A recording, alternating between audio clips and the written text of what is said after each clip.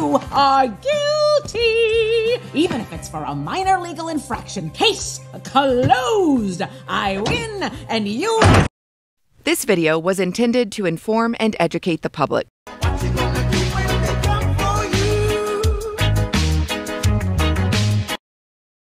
Welcome back to the Junkyard News. And in today's news video story, we're going to cover an incident that happened in Florida where our good friends down in Lakeland, that's right, the Lakeland Police Department are at it again, and they stepped in it with the community in outrage over the way two average sized Lakeland Police Department officers decided to go toe to toe with an above average size 16 year old. And the way the officers handled the situation that they found themselves in has the community up in arms. Police are launching an internal investigation. Well, another accusation of police brutality against Lakeland Police Department, but this time the person making the allegation is just 16 years old.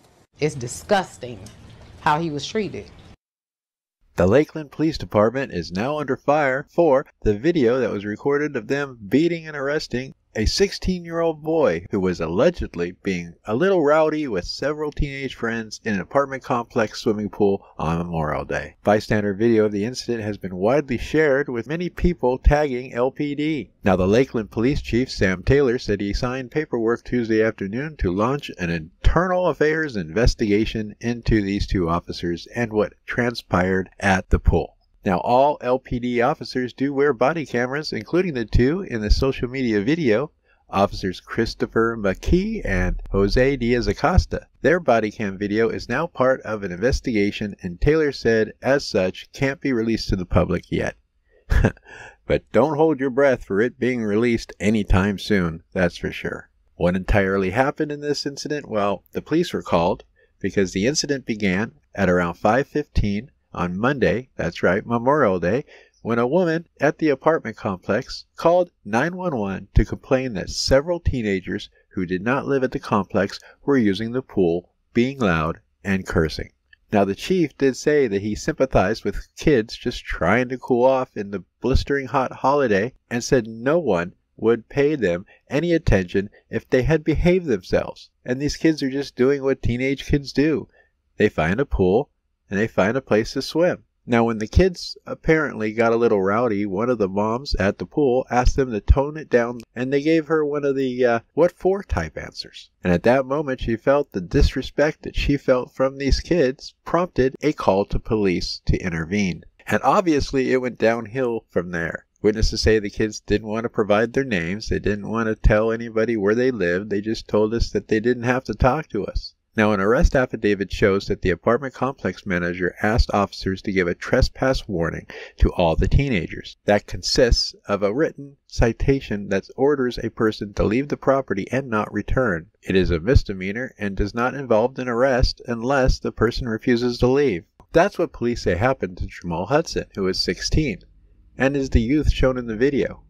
However, there are different versions of the heated exchange that preceded the beatdown. Oh, a big surprise! Apparently, there was some heated words. In an affidavit, Officer McKee said he gave Hudson several commands to leave the property, and although the teen exited the pool area to gather his belongings, he refused to identify himself. Oh, gotta have that crack. Gotta have that ID. Hudson continued to ignore the officer's verbal commands, and apparently, according to police, of course, the teen stuck his hand in the officer's face, stating, I don't have to talk to you. Talk to the hand. Remember that? Now, of course, one of the teenagers that was present recounted it differently.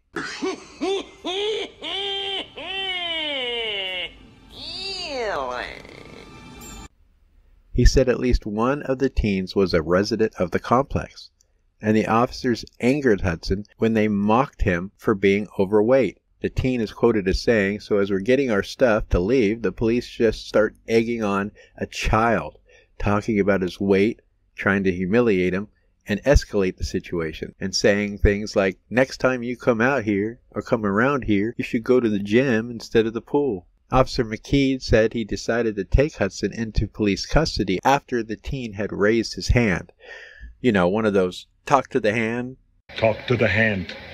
The officer claims I attempted to grab Hudson by his right arm, but he immediately tensed his body up. Oh, I felt his muscles tense up when we touched him.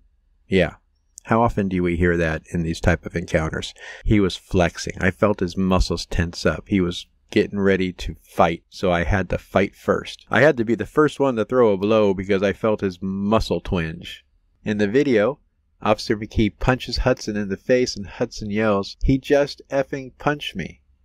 Now, Officer McKee is seen punching Hudson five or six times as he tries to take the teen down to the floor of what appears to be the clubhouse or an office of the co- apartment complex. The other officer, Diaz Acosta, yells at the crowd to get back and grabs Hudson by his hair.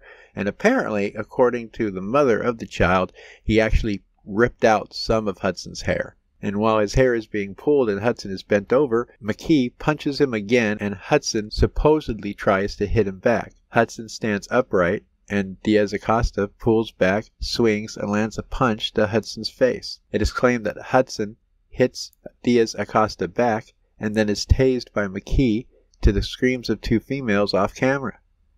Hudson falls to the floor and his legs jerk as electricity pulses through his body. And that's when it looks like Officer McKee decides to put his knee on the neck of a 16 year old boy as they put him in handcuffs.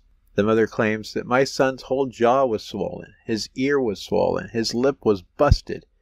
He has a patch of hair missing from his head, and one of the police officers pulled his hair right out. In the video, you can see it. My son is pinned in a corner, no other place to go but forward to try to defend himself while these cops are attacking him. It made me sick to my stomach. It made me throw up. The video has prompted a barrage of outrage, with many people saying that the officer's actions were far beyond what was necessary to the offense, and some noting that Hudson was wet from the pool when he was tased, exasperating the charge. Now, of course, it's going to take several months before the internal affairs report into Hudson's arrest is completed, and maybe at that time, if we're lucky, the findings will be released to the public, including any body cam video, if it even exists. In the meantime, the juvenile Hudson is facing three charges as a result of the incident trespassing, failing to leave the property upon the owner's request, which is a misdemeanor, battery on a law enforcement officer, a third degree felony, and resisting an officer with violence, which is also a third degree felony. Was he in fact doing what the officers told him to do and leave the property? Did the officers really have to belittle the young man and tease him about his weight and try to poke the bear until an incident did finally erupt where they can go ahead and beat down a 16 year old? It's disgusting. They were told to leave and they were leaving. When that comment was said, that's when all hell broke loose. He was attending a pool party that was broken up when a neighbor called police. He says he went back to the pool to retrieve his shirt, and that's when what first started as a verbal confrontation with officers escalated. It was just a verbal argument between a grown man and a 16 year old boy. The police affidavit states as they tried to control Hudson, he flailed at them, landing a punch to the arresting officer's face. This latest allegation of police brutality comes just three days after local community activists demanded Police Chief Sam Taylor reopen their investigation into officers involved in the videotape confrontation with Antoine Glover. The Polk State Attorney's Office recently announced charges against Glover had been dropped. Although we have several cases that we've been dealing with in Lakeland, I think this is the most disturbing. Jamal Hudson was in juvenile court today facing charges of trespassing, battery on a police officer, and resisting arrest. Lakeland Police Chief Taylor says he is aware of the incident, has met with community leaders now about it, and has already requested an administrative review by the Office of Professional Standards. I really do hope that down the line, body cam video of this incident is available and released to the public because I would really, really like to see it and I'd like to share it with you.